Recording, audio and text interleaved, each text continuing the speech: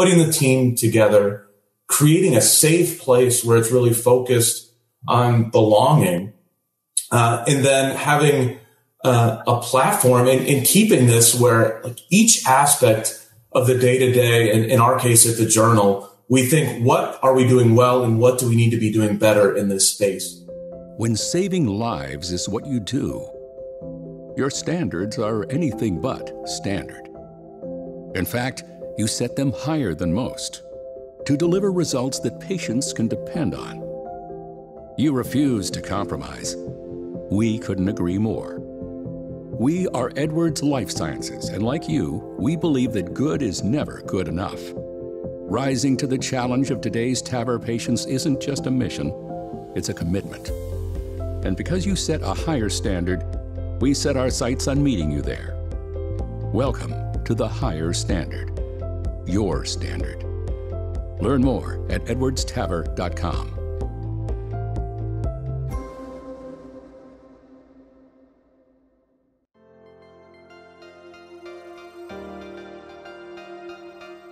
You're listening to Parallax from Radcliffe Cardiology in association with makeadent.org. Here is your host, Ankur Kalra, MD from the Cleveland Clinic. Um, hello, everyone. Uh, welcome to another episode of Parallax. Um, you know, this is uh, a unique episode. Um, it's in collaboration with the Heart Failure Society of America, uh, you know, which um, everyone at Parallax and at Radcliffe Group Limited is extremely grateful for. Um, you know, I would sh- give a huge shout out to uh, Dr. Starling, Randy Starling, who I have the immense privilege of, you know, working with uh, here at the Cleveland Clinic. And um, my guests uh, t- today are, you know, two extremely vibrant and special people. I'm going to introduce e- each one of them. Um, Dr. Mentz uh, is on the show with us. Uh, Robert Mentz is associate professor of medicine at Duke. Uh, he's the section chief of heart failure at Duke and uh, took over as uh, editor in chief. So he's at the helm for Journal of Cardiac Failure, which happens to be the official journal for the Heart Failure Society of America. And with him is um, Dr. Lala. So Anu Lala is uh, a heart failure cardiologist at Icahn School of Medicine at Mount Sinai. Uh, she's assistant professor of medicine and the deputy editor of Journal of Cardiac Failure.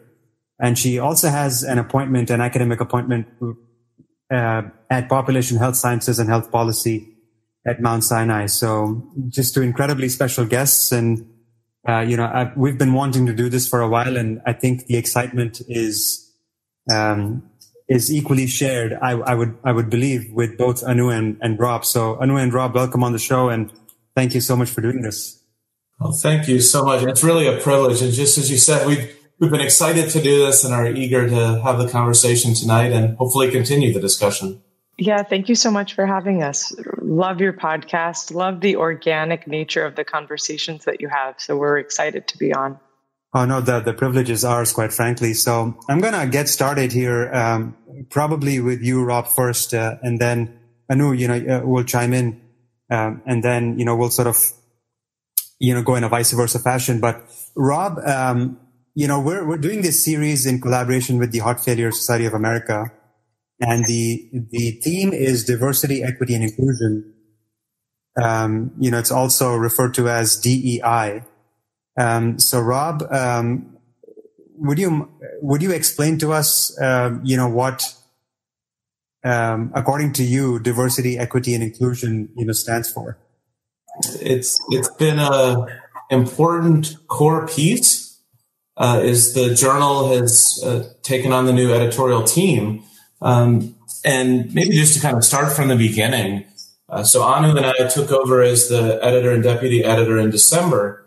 And from the earliest conversations, we really wanted to think, how can we do things differently at the journal to put together a team that really represents and is, is made up of the diversity that is within academic medicine, as well as really striving to, to improve that over time uh, by all different domains of inclusiveness. So really this idea of as, as we think of putting together a team uh, of men and women uh, of those different race and ethnicity, different disciplines, cardiology, nurse practitioners, APPs, uh, PharmDs, physical therapists. So really pulling together different components and different types of diversity, career stage, geography.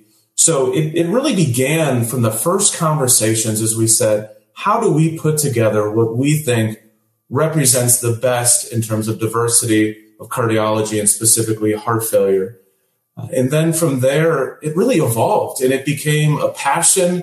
And one of our core values is we thought, how do we have DEI be front and center on every single conversation we have uh, as we think about the people that are part of the journal team, the reviewers, authorship, and it's really been a, a core value that has has been a foundation as we move forward and something that we've learned a lot about from our team and are really eager to learn from the broader community and work together for really significant and permanent change.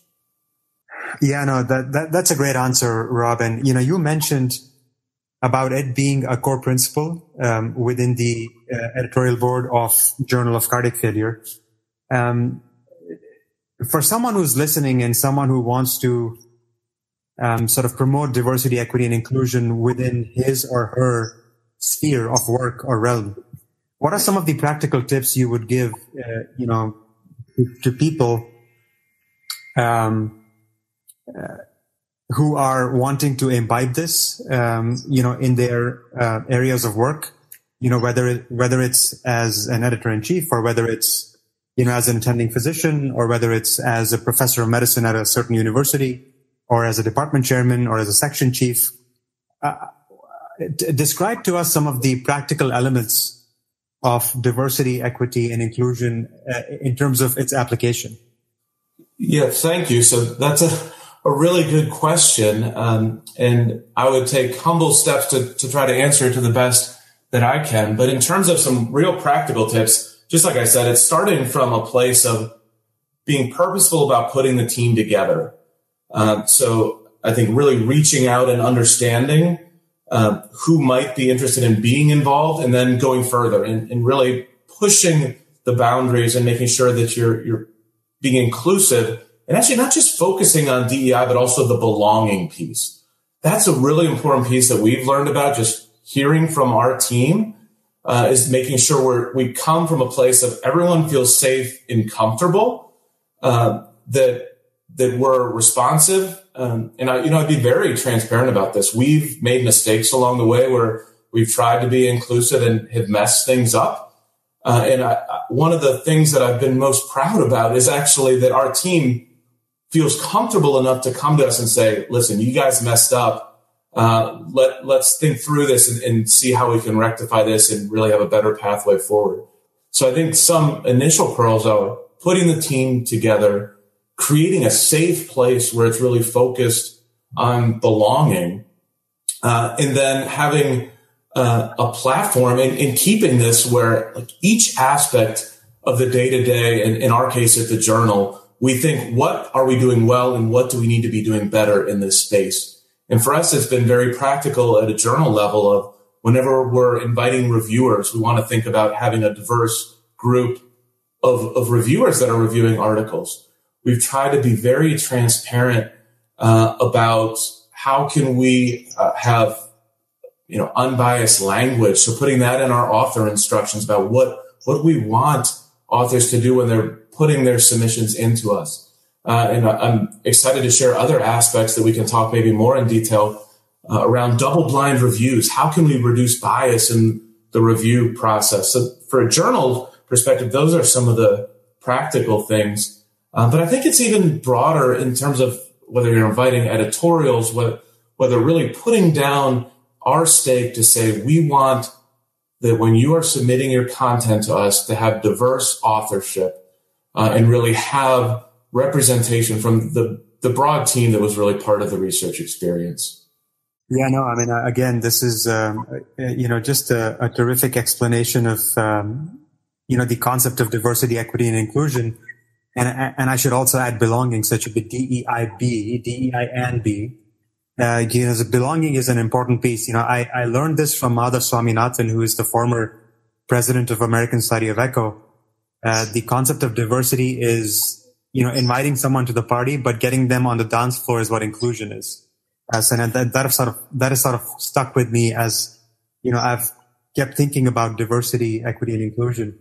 I just wanted to to add, I think you hit the nail on the head, and I think Rob has already, as usual, nicely highlighted the fact that this this notion of belonging really lies at the center of DEI. And I, you know what strikes me is I think fundamentally the innate human desire for all of us is to feel seen right and to feel acknowledged and then that is what underlies this important concept of belonging and when we think about DEI in sort of a, a superficial sense, which is, you know, become a buzzword, um, it's really about having everyone feel like they belong, right? Feel like they are included, like you said, like they're on the dance floor. And I think when when that's at the core of everything you do, is is is making sure that people feel seen and heard and acknowledged and recognized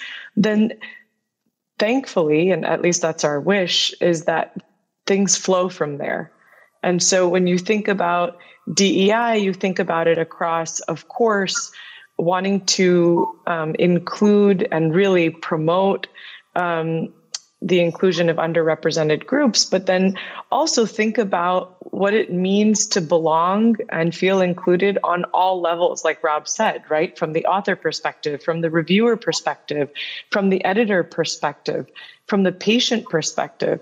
Um, and so I think it all kind of stems out from that central concept, like spokes of a wheel. Um, and I think that's been our kind of guiding principle. And we're you know it's our it's our hope that it will continue to be uh, our our sort of north star.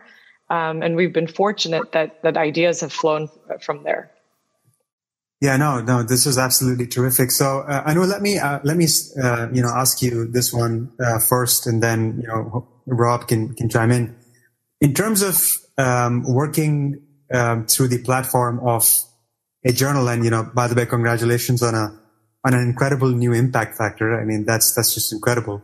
Uh, so congratulations to uh, to you, uh, you know, as well as the former team, because um, you know I know it's a lot of work to build a journal and build a, a repertoire. So, and you know, with all the new uh, changes that I see happening with the journal, there's a lot of new energy, um, and I, I, can just sense the effervescence, you know, which is so so palpable uh, you know, across social media that, uh, you know, I congratulate both you um, and, and Rob for taking on these important steps. Um, but, but, you know, in terms of, um, in terms of some of the editorial processes, you know, how, uh, describe to the listeners, to the audience, um, you know, some of the steps that you've taken to promote, um, you know, DEI and B. Yeah, sure. So, so thank you for that question. Um, you know, I'll I'll let Rob speak about impact factor because he does so more eloquently than I. But certainly the credit goes to the the team before us. As you know, the impact factor kind of is delayed. Um, and so, so we definitely want to acknowledge them as you did um, for their tremendous work in, in contributing to that coming up the way it did.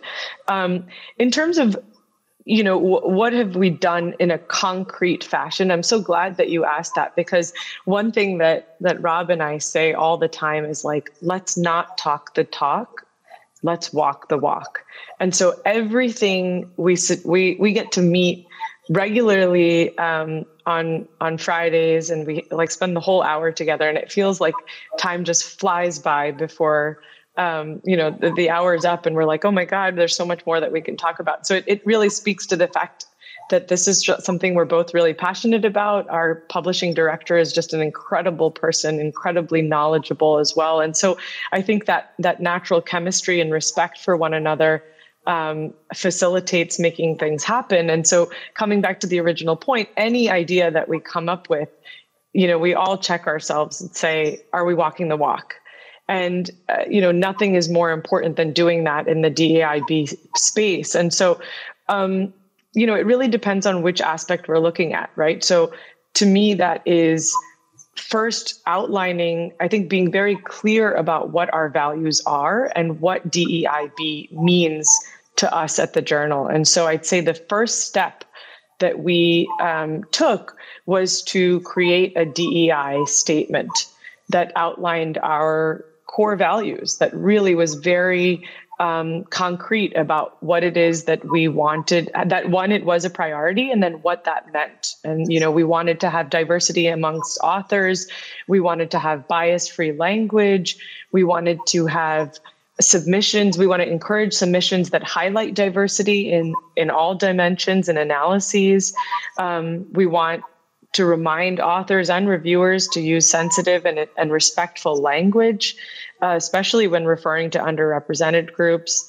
Um, and really, our our hope um, is I say prayer, but not in a religious sense. But I think our prayer is that we can promote DEI and B, of course, across science and across the journal, but you know, for our community at large. So I think first outlining those steps in a concrete statement was very helpful for us to be clear with our vision. Yeah, thanks. I mean, you said it so nicely that maybe additional things I would add to complement that. Um, you mentioned our Friday meetings as part of the core group with Meredith Hurt, our um, our director of publishing. That is always this like invigorating meeting. But I also want to note our weekly meeting with our associate editor teams, which has just been an opportunity to bring together a diverse group in and of itself, and then to create a space to discuss articles in a critical fashion and be very purposeful about what types of articles we want to select that are aligned with our core values and really based on exceptional science and really each of these high quality um, components of DEI that you've also gone through. So it, it comes and starts from our weekly meetings in the team that we're so fortunate to have on the associate editor side. But then it's also been very purposeful around when we're inviting editorials or state of the art reviews to be purposeful about including both men and women, making sure that we have at least suggestions around considering including trainees, diverse stakeholders, uh, that uh, maybe other components or different disciplines within medicine. And those are some of the things that we've been really excited about. And then the last comment I would make is just this month with our launching of double blind reviews uh, and how through our publisher Elsevier really being able to work very purposefully and meaningfully to, to turn this uh, on, but then to be collecting data around it. So we'll hopefully be able to share insights now as we've gone from having uh, single blind reviews, meaning that the reviewers themselves know who the authors are, to now both the reviewers and the authors being unaware of each other. So it really is a base, uh, the basis on quality of the science uh, and to try to remove some of the potential biases uh, that, that could go against our overall mission. So that's been something we've been really excited to launch just this month. And hopefully down the line, maybe we can even join back and, and go through some of the updated insights around that. Um, so you know, just, I mean, I've, I've been a former editor in chief of a peer reviewed journal and, you know, I know the amount of work that goes into putting an issue together and, you know, just the fact that you've, you know, you've introduced all these concepts and, and wonderful ideas, you know, and congratulations on the double blind peer review process. I think that is crucial. Um, you know, having been both, um, you know, I'm just being, being honest and, and candid here, you know, just being both at the, uh, you know, obviously at the receiving end, uh, but also, you know, challenging my own inherent biases when I see a manuscript as a reviewer uh, from a, an author group that I know is prolific and has published great science in the past. You know, I think is is an inherent bias that I still struggle with as a reviewer. So I, am sure that blinding it, uh, you know, like double blinding it would would make a difference uh, in, terms of you know reading that particular paper with, with an unbiased, open, you know, mind and, you know, just focusing on the science and not focusing on, you know, who's, who's, uh, you know, producing the science. I think that is, that is extremely important. Um, let me ask you uh, a, a, technical question about this aspect. Do you think that it's still um, feasible or it's still uh, possible to sort of make sense as to where where where this paper is coming from? You know, just because for example, you know, if there is a registry which, you know, people know about and, you know, y- you would know that you would associate a certain uh, person or a certain group of authors with that particular registry. Or if it's a database study and, you know, everybody knows uh, who sort of mines the database. Um, what, do, do, you think it's even possible to blind uh, to that extent? Uh, I mean, what are some of the uh, editorial guidelines and policies you have introduced um, to sort of mitigate that? Yeah, I'm happy to, to kind of take that and then Anu, feel free to jump in. So I think we're still learning exactly what it looks like, but base, at the most basic level, and, and this is where it's a balance, right? So one of the key things at our journal is we have this your paper, your way. So you can submit to our journal in, you know, just a couple minutes, uh, and, and not have to put in everybody's name. And it, you know, it doesn't take hours and hours to do it. So we balance it with the ease of submission and trying to improve the author experience. But now we are asking, uh, for basically these blinded details, meaning that we want to separate out the cover page that has the authors, the affiliations. But your point is a really good one. I mean, there are aspects of, you know, if it's from trial X, then we're going to be thinking, oh, this is probably the, the group of individuals that has been publishing all these papers on that. So there are certainly cases where I think it is much more challenging um, to, to blind in a complete way, just given the data set. But there are a number of uh, instances where whether it's a single center or multi-center, smaller piece, or um, you know, not from a specific data set that is uh, can be as clearly articulated, uh, or in our case, could actually be blinded through fairly easy mechanisms that I think will allow us to get closer uh, and and hopefully make some incremental progress on trying to remove some of the bias there. So I think stay tuned. We're still learning exactly what that will look like. But I think already we've seen an ability to blind some of the key factors around institutions, affiliations, uh, to really try to get to the heart of the matter of focusing on the science. But Anu, what do you think? Yeah, I mean, I think, you know, you always say it so nicely. I, I think what I'm really excited about is being transparent with our community because I'm as much as I'm excited about the prospect of doing blinded reviews, because again, this is walking the walk rather than how many times have we seen this in, in various reviews and various perspective pieces as to what we can do to change uh, the diversity of authorship, et cetera. And so we're so excited, you know, to be able to do this. Um, but I'm so equally excited about sharing just are the lessons learned you know how does this change? What is what is the impact? You know how does authorship change et cetera? I think obviously you know we're privy to the fact that there'll be some restrictions and some red tape in terms of what exactly we may or may not be able to find out but that too is worth sharing. You know i think uh, the more transparent we are in these processes the less of a chasm there is between you know editorial boards and reviewers and authors and um, the community at large. And so i think sharing all of this information as we roll it out is going to be is going to be nice.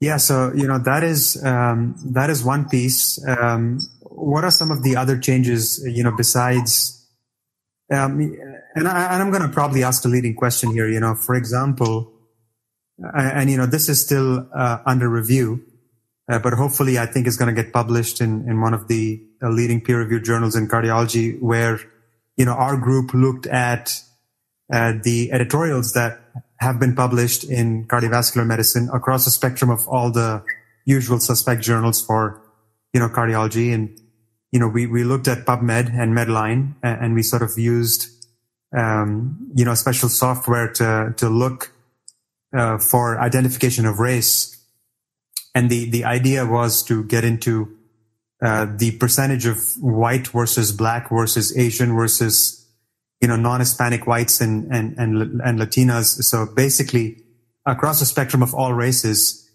um, sort of quantify what percentage of editorials are written by, you know, authors from these different groups of races. Now I'm not going to get into the results because that is obviously under embargo.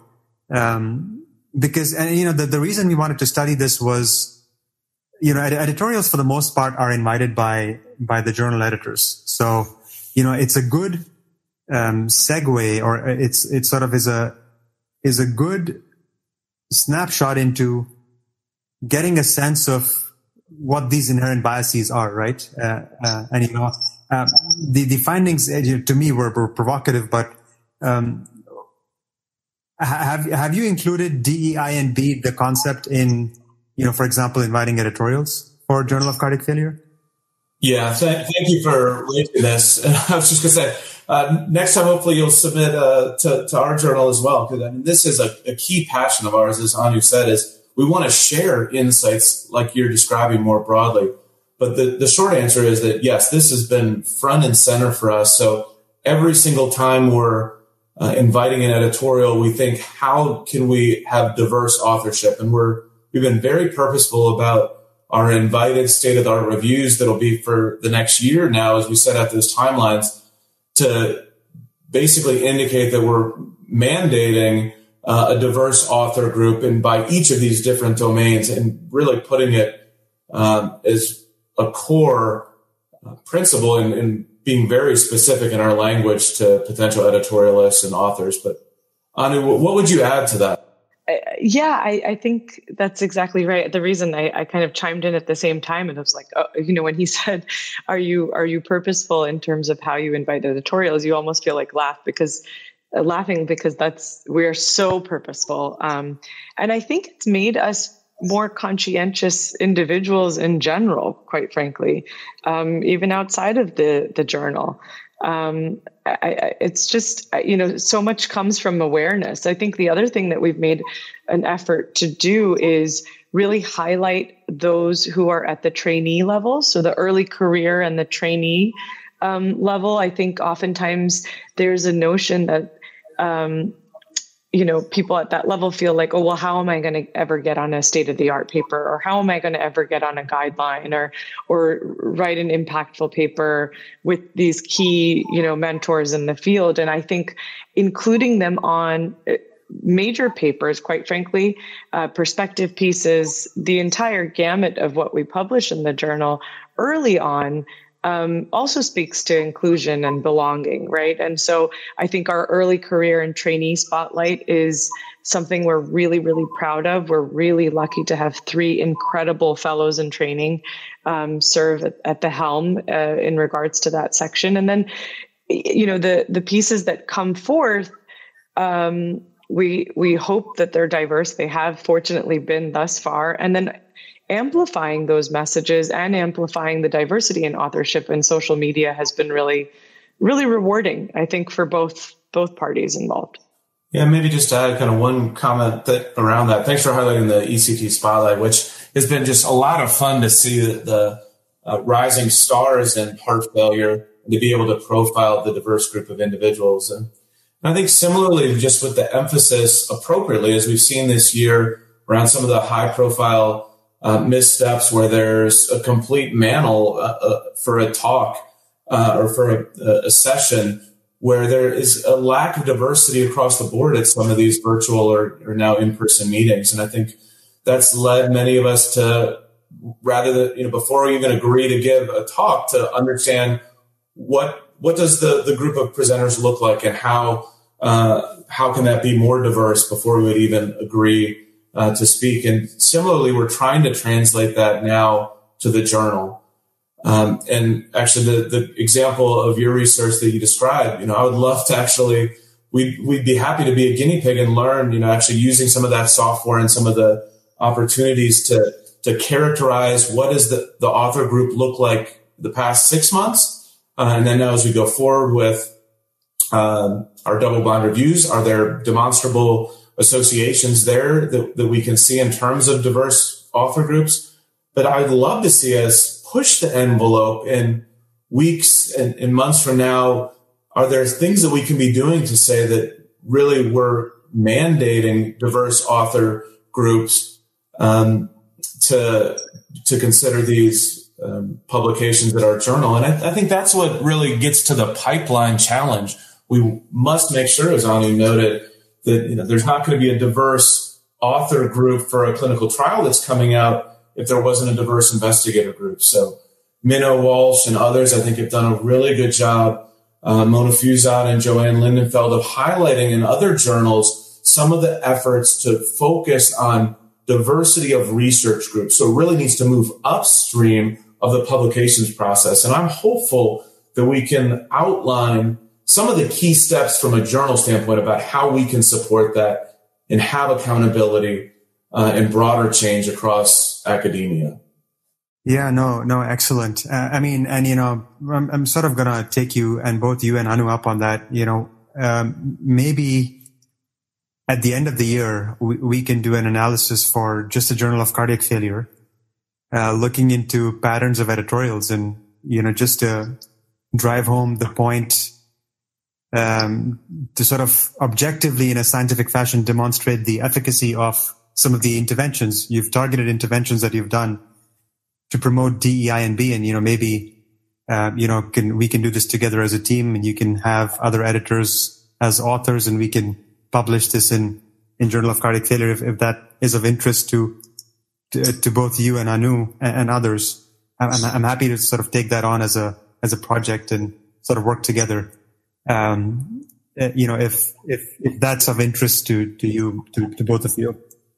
Yeah, that, that would be fantastic. We've we've been uh, working through the details about you know how do we collect the data to now and uh, to really inform the analytic approach. So uh, maybe one of the critical pieces to already come out of this podcast is uh, is a data approach that, that we'll learn from you. So so thank you for that.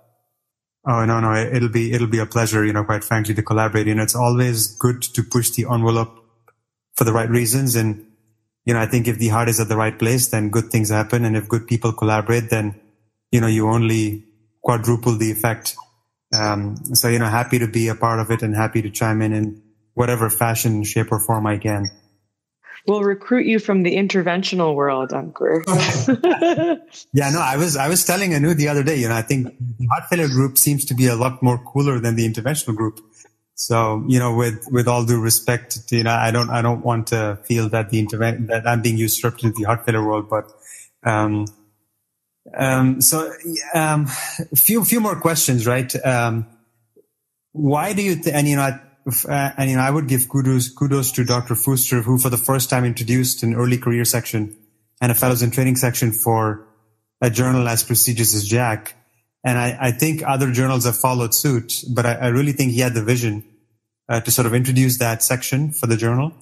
And, you know, I've been a contributor to that section. Um, I've, I think, contributed, I think, almost five pieces now.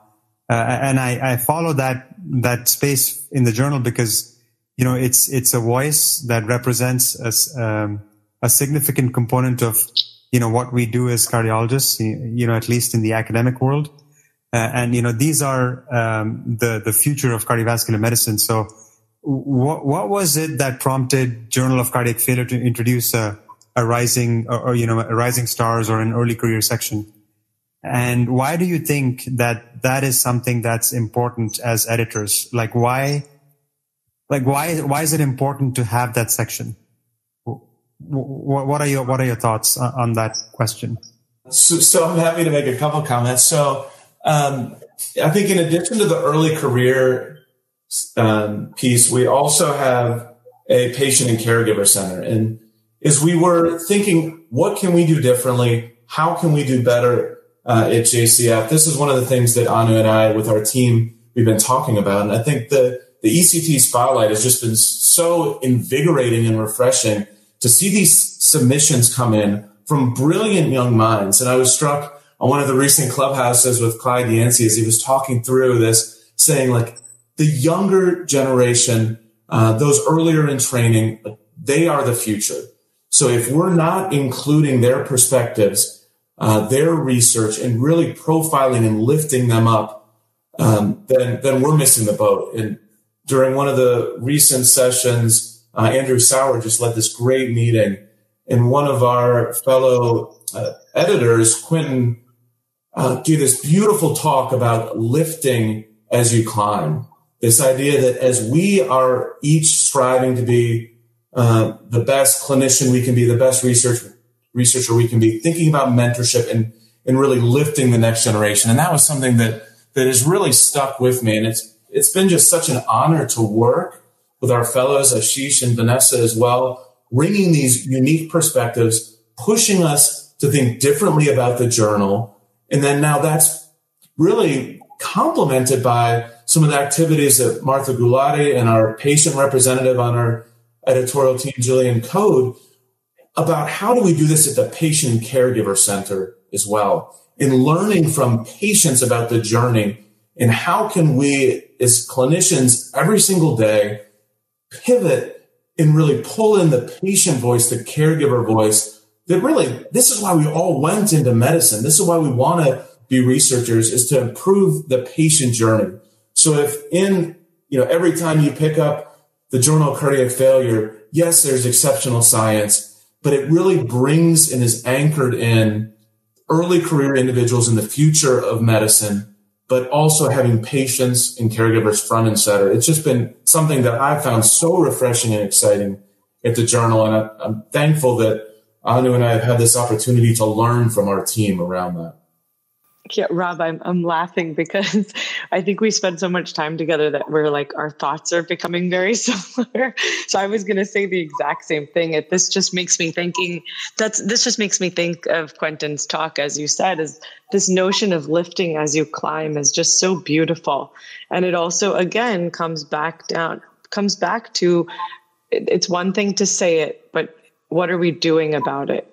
And so having a dedicated section is, you know, at least our attempt to walk the walk.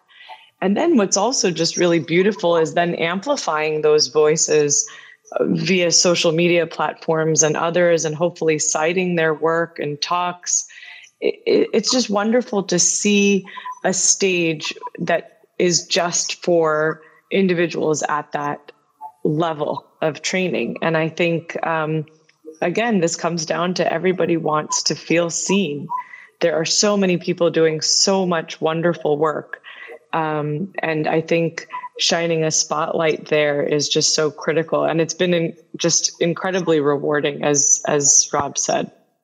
Yeah, I guess the, the only additional comment I would make around it is just that we've learned so much from our team around how words matter. And the example I would give uh, is that some of our colleagues from Canada uh, who who are you know in the, the, this heart failure community, they say, "Wow, like it blows our mind that you you introduce yourself as a heart failure cardiologist, or you open with." Um, talking to patients about heart failure. And yes, we're not meaning to, to reduce the severity of the disease, but, but they say bringing the focus to heart function, heart success. How do we reframe the language to set patients up for success. Um, and, and I think that's really what's been exciting for us of, yes, we are going to have exceptional quality science, but we really want JCF to be a movement that, that changes how we think about medicine, that gets over the burnout that many of us are feeling on a day to day basis. We, we want to fill up uh, the clinicians, the readers' buckets um, by focusing on some of these aspects that, that really matter. And maybe in, in, that context, Anu, do you want to share your story about um, your patient and the gift they gave you around heart success? Yeah, sure. I, I this is something that I think we we feel so passionately about, and I, you know, for me, it, it literally just I feel like it's become a mission. You know, the more we can spread this um, kind of this desire to rethink the words we use. I mean, heart function for sure is at the the forefront of what we would like to hopefully see more of, but also this uh, this notion of starting out a, a history and physical exam with chief complaint. You know, you're starting off the story with opposing forces, right? A patient on one side and you on the other side of the fence receiving a complaint. So it, it, immediately, when you hear the word complaint, puts one on the defense. And so if we think about changing that to chief concern or primary concern, um, I think it can be so powerful. And similarly, when we think about um, we we often use the term like especially in the case of, of, acute heart failure oh patient presented an acute heart failure in the setting of non-compliance or non-adherence and we use that casually but there's a story behind that, right? Every patient, every individual has a story behind why or why not they could take their meds. And if we think about barriers to adherence instead, um, I think it uh, allows us to connect with patients on a more personal level and and understand where they're coming from. And to come back to your point, Rob, I um, I have you know I introduce myself as a heart function doctor now. Um, I try to tell patients uh, at every step of the way that you know we're talking about heart function, um, and and don't use the other F word, so to speak. And one patient I had is a, a young uh, father who was diagnosed uh, with acute heart failure, um, and he he said to me, he said, "Don't tell me that. I don't want to hear that. I've never failed at anything in my life. I just can't accept it." And and the barrier around language was actually impeding his care. And so changing our vernacular to thinking about function was so appealing to him and it resonated so deeply with him that once we established this connection and he did get better thankfully on, on good medical therapy he and his wife actually made me keychains that say heart function not failure um, and you know i'm sure you've seen we use that as a hashtag really often in, in a lot of um, the tweets we have around the journal and the work that comes out of it. Yeah, no, I mean that's that's just a beautiful story, and you know I, I do think that the, the, the leaders in in you and Rob and how you've um, positioned the Journal of Cardiac Failure to be, you know, one of the key journals in the subspecialty of heart function, I should say now, I can still learn. um, uh, you know, I think um, is going to be pivotal in how you know the future generations of cardiologists and heart function specialists are going to describe this entity. Um, you know, and you know, it's it's in. I mean, our patients are beneficiaries of, of just incredible medical therapy that we now have, right? That that forms the cornerstone, the the quadruple backbone. I mean, I've seen just incredible improvements in systolic function once I've introduced, you know, both the SGLT2I and, and a mineralocorticoid to a backbone of uh, a beta blocker and an ARNI. Uh, it's just incredible how much these new medications, you know, have an effect on, on systolic function. And, and I'm sure you see this more often than I do, but, you know, every now and then when I have a, a patient, you know, with, for example, you know, coronary embolus and or maybe tachycardia mediated cardiomyopathy and now is rate controlled, but the EF is, is still low. I mean, this, the introduction of these newer agents is, is just, it's miraculous how quickly the EF responds. Has that been your experience also? Or is it just my two anecdotes that I often talk about? No, I agree with you wholeheartedly. You know, I think folks like Greg Fonarow and others have have really led the way in emphasizing the importance of getting all patients on these foundational therapies, obviously pulling in the appropriate personalization that's needed, but, but this idea of we've got to get over the clinical inertia. We need to get these therapies on efficiently or as quickly as possible and at the right dose. And, and that's really what we've seen. I think I'm sure Anu can say this week alone, seeing multiple patients that, that are doing so much better.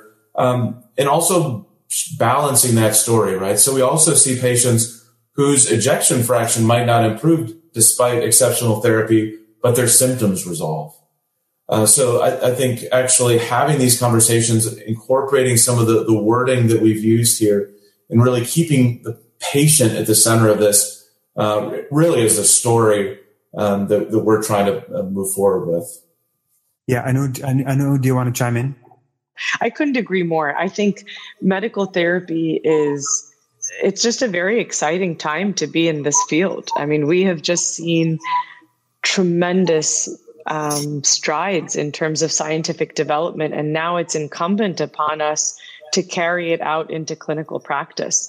And, you know, inertia is just, it almost feels like it's, it, it in this day and age can be equated with with doing harm you know, um, even though it's a much more passive form of doing so. And so I, you know, I, um, I'm proud to serve as the program director for the Advanced Heart Failure Fellowship at Sinai.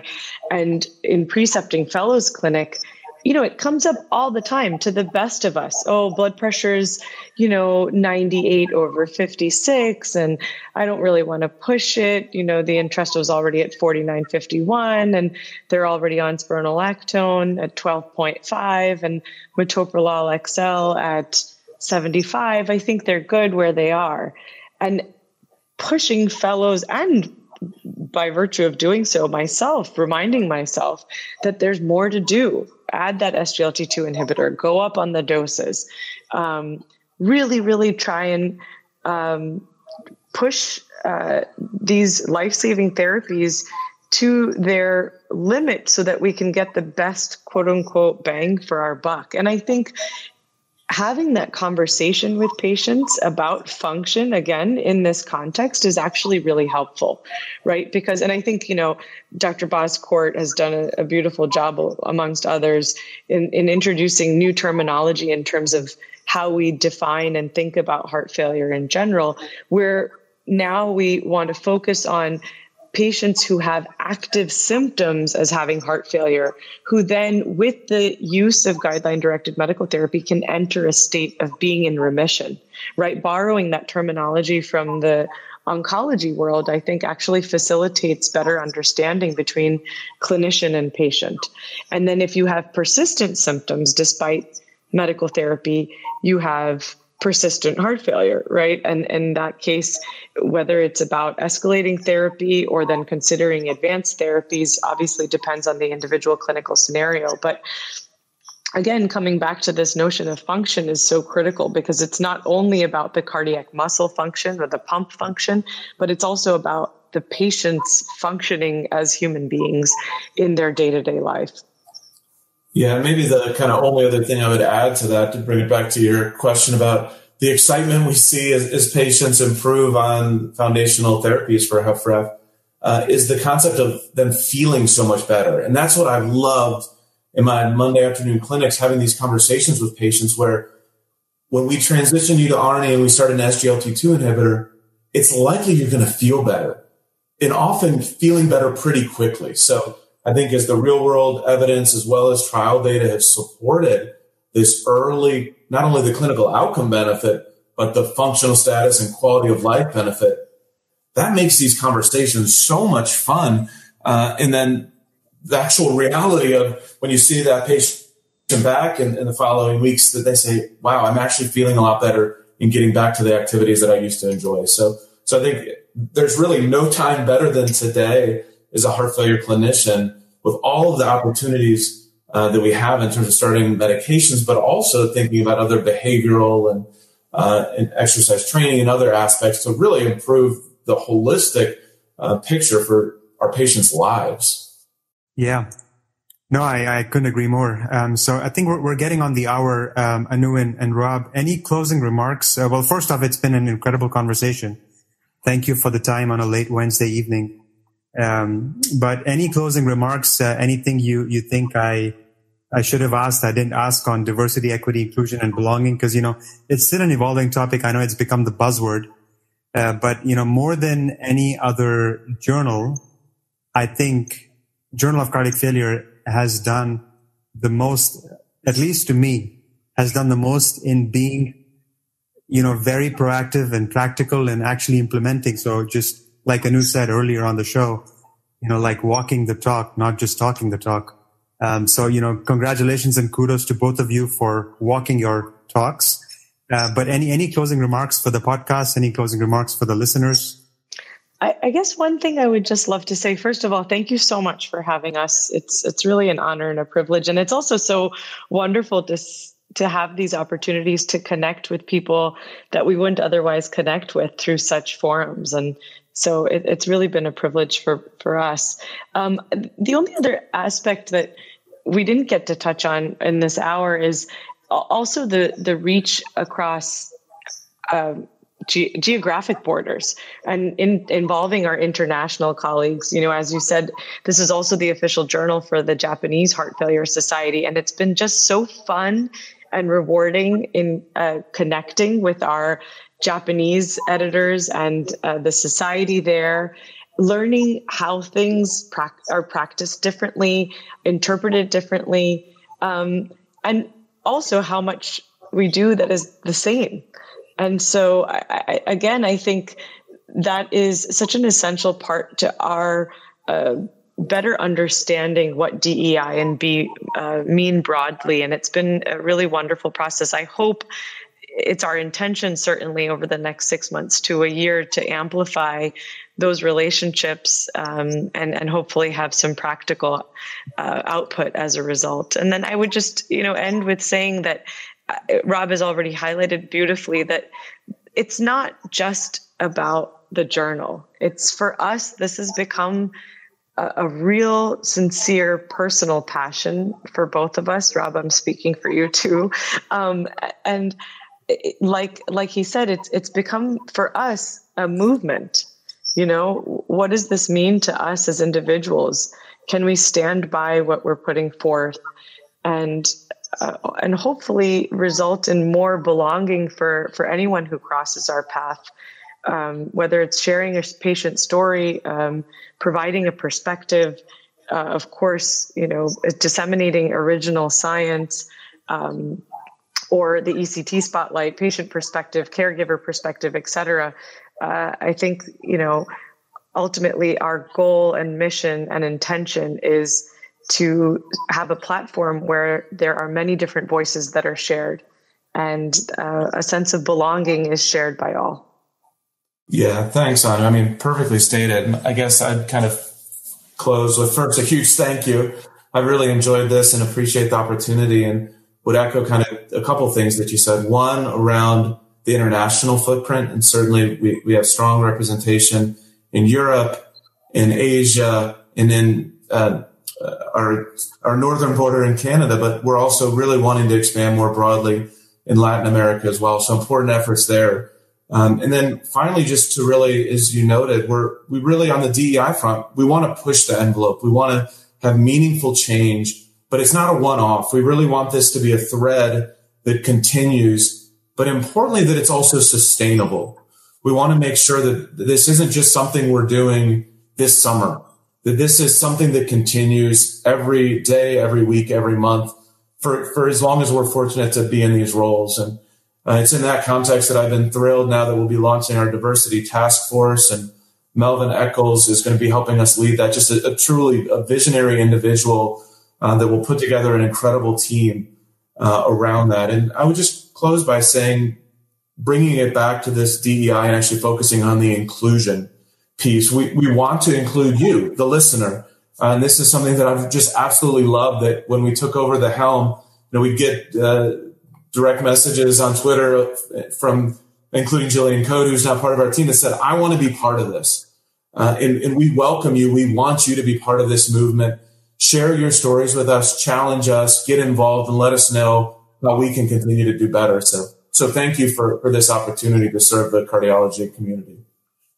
Oh, no, excellent. No, I mean, this has been a terrific conversation. And, you know, again, thank you both for, you know, sparing the time and, you know, having this conversation with, with me. And so, you know, thanks again.